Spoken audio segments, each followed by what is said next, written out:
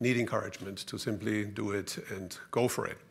And you have shown it to the world. So that is really, for me, the most important thing. And in that context, the first question, you used to work in New York as an investment banker. So an investment banker is actually the exact opposite of an entrepreneur. He's delegating risks to other people. And basically, uh, how did you find out? How did you think that you should move from you know, investment banking to really launch a company? Uh, um, I think I'd always wanted to, to do it, even since I was a kid. Um, had the idea, one of the people who every time I look at something, it looks like it could be improved. You know, there's something wrong with it. So I go through like, wow, how could this restaurant be better? How could, and you know, and so I've always had that kind of idea. Um, the great thing about uh, humans in general is we're always improving things. And so entrepreneurs um, uh, and inventors, uh, and you know, if they follow their curiosity and they follow their passions and they figure something out and then they figure out how to make it better and they're never satisfied.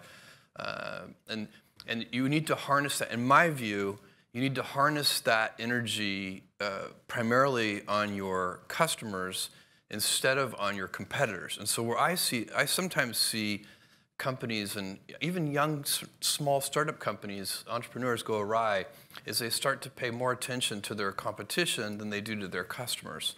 And I think that that, um, I think that in big mature industries, that can be, that might be a, a, winning approach in some cases, kind of close following. Let other people be the pioneers and, you know, uh, and, and go down the blind alleys. That There's many things that, that, that a new inventive company tries won't work um, and so those mistakes and errors and failures do cost real money.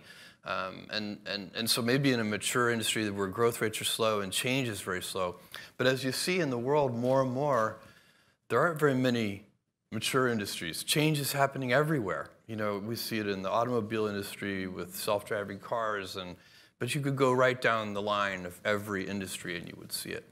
But where, do you have any idea where, where your ambition really uh, comes from? What, what was driving you? Um, I, I, really don't know. Uh, you know, my I've been passionate about certain things uh, forever, um, and I fell in love with computers in fourth grade. I got very lucky. Um, my elementary school had a teletype that got connected to a mainframe computer that some business in downtown Houston donated a little bit of computer time to. This is you, you can picture these teletypes. They had the punch tape and they had a 300 baud modem. You would dial up the phone and put it in the cradle.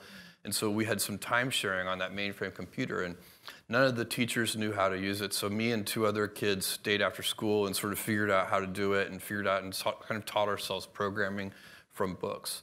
I think one thing that is, um, it, I got very lucky early in my childhood. Look, we all get um, gifts. Uh, we get certain things in our life that are um, uh, that we're very lucky about. And one of the most powerful one is who your early role models are. You know, you could, they could it be was your, your parents. Grand, grandfather. It was in a big sense. My, my mom and dad, but my mm. grandfather too. And you know, I had my mom had me when she was uh, 17 years old, and she was still in high school in Albuquerque, New Mexico. And this is in 1964. I can assure you that being a pregnant uh, teenager in high school was not cool in Albuquerque, New Mexico at that time. And uh, so uh, it's, in, in, so it was very, it was difficult for her my grandfather went to bat for her when they tried to kick her out of school, and you know he, they're they're incredible. I had so the gift I had is I had this incredible family. Could you describe and, a little bit the role of your grandfather because sure, John has mentioned it. And I think it was yeah, really important. He, it was super important for me, and um, I spent an unusual amount of time with my.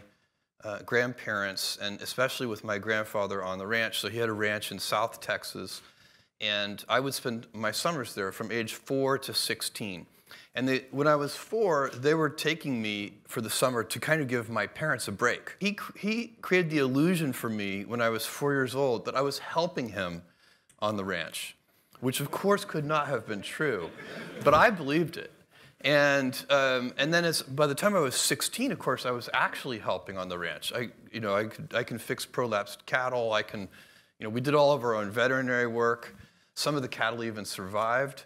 Um, and uh, we fixed windmills and laid, you know, water pipelines and built fences and barns and fixed that, fixed the bulldozer that you guys talked about.